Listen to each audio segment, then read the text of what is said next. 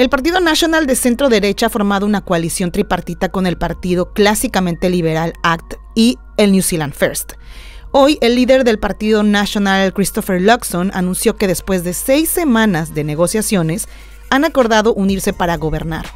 Este acuerdo implica un cambio importante en la dirección del país.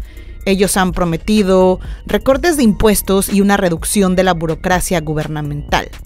Luxon, un ex ejecutivo de Air New Zealand, asumirá el cargo de primer ministro a partir de este lunes, mientras que Winston Peters, el líder de New Zealand First, será el nuevo ministro de Relaciones Exteriores, mientras que Peters y David Seymour de ACT compartirán el cargo de viceprimer ministro, con la particularidad de que el líder de New Zealand First entregará el relevo a mitad de la legislatura. El manifiesto de esta coalición incluye medidas como la reducción de impuestos sobre la renta personal, la capacitación de 500 nuevos policías en dos años y la revisión del mandato del Banco Central, enfocándose únicamente en mantener baja la inflación. Según lo que dijo Luxon, nuestro gobierno reconstruirá la economía para aliviar el costo de vida y brindar el alivio fiscal para aumentar la prosperidad de todos los neozelandeses.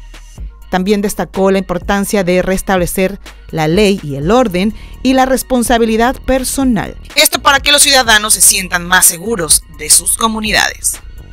Este cambio llega después de que los neozelandeses votaran a favor de un giro en las elecciones generales del 14 de octubre, poniendo fin a seis años de gobierno del Partido Laborista de centro izquierda. Luxon y su partido obtuvieron 48 de los 123 escaños en el Parlamento, superando los 34 del Partido Laborista. ACT y New Zealand First obtuvieron 11 y 8 escaños respectivamente.